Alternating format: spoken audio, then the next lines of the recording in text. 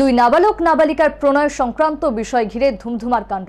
ঘটনা শুক্রবার রাজধানীর ভাটি অভয়নগরের বিটারবন এলাকায়। অবস্থা সামাল দিতে ছুটে আসেন সদর পুলিশ মহকুমা আধিকারিক শাশ্বত কুমার। তবে অভিযুক্তরা পুলিশের চোখে ধুলো দিয়ে গা ঢাকা দেয়। রাজধানীর ভাটি অভয়নগরের বিচারবন এলাকায় এক নাবালক যুবকের সাথে কৃষ্ণনগর এলাকার এক নাবালিকা যুবতীর প্রথমে প্রণয় ও পরে পলায়নকে ঘিরে শুক্রবার রাজধানীর ভাটি অভয়নগরের বিচারবন এলাকায় ঘটে যায় ধুমধুমার কাণ্ড। অভিযোগ সংশ্লিষ্ট এলাকার বাসিন্দা মানিক মিয়ার বাড়িতে একদল দুষ্কৃতী অতর্কিতে হামলা চালায়। এতে মানিক মিয়া সহ তার পরিবারের অন্যান্যরা অল্প বিস্তর আহত হয়।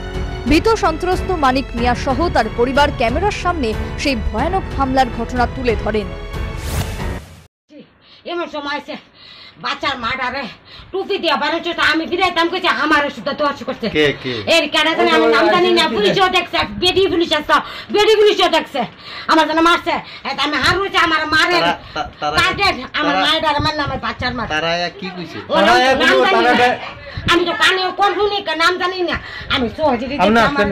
আমার সামনে তো ঘটনা। আচ্ছা কি হয়েছে একটু? তারা প্রথম পুলিশ আমার আইছে কে লিগে আইছে হ্যাঁ। ওই কইতাছে এখানে বলে মায়া বলা ভাই গেছে তো আমি কইতাছি যে স্যার কি তুইছে ব্যাপারটা বুঝে লই এবার স্যার বললাম যে স্যার মেয়ে তো আমার এখানে নাই মেয়ে তো মেয়ের গার্জেন লয়ে গেছে গা।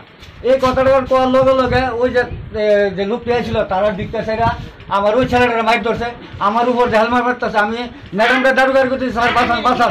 তারা বাঁচান না তারা তারা আরও বেরিয়ে গেছে গা ওই দেন স্যার, আমি তারা বেরিয়ে গেছে গা এরপরে লাস্ট পর্যন্ত আমি আমার তো প্রাণ বাঁচা দিব তখন আমি আমি তখন আমি যখন চিকিৎসা তখন তারা উত্তর দৌড় মার দুষ্কৃতীদের এই হামলায় স্বাভাবিকভাবেই সংশ্লিষ্ট এলাকায় ত্রাসের সঞ্চার হয় খবর পেয়ে ঘটনাস্থলে ছুটে আসেন সদর এসডিপিও শাশ্বত কুমার এবং তিনি বলেন ঘটনার তদন্তেই সব বেরিয়ে আসবে हुई है कुछ हुआ है यहाँ पे तो उसी को इन्वेस्टिगेट अभी करेंगे अभी इससे ज्यादा भी कुछ नहीं बोलते पहले इन्वेस्टिगेशन में क्या मिला था क्या हुआ था इन्वेस्टिगेशन तो अभी शुरू करेंगे ना इंसिडेंट हुआ है इसका इन्वेस्टिगेशन होगा तो इन्वेस्टिगेट करेंगे कुछ होगा तो बताएंगे थैंक यू बातचीत हुआ क्या एक उसके साथ जो जिसके साथ हुआ था नहीं नो प्रॉब्लम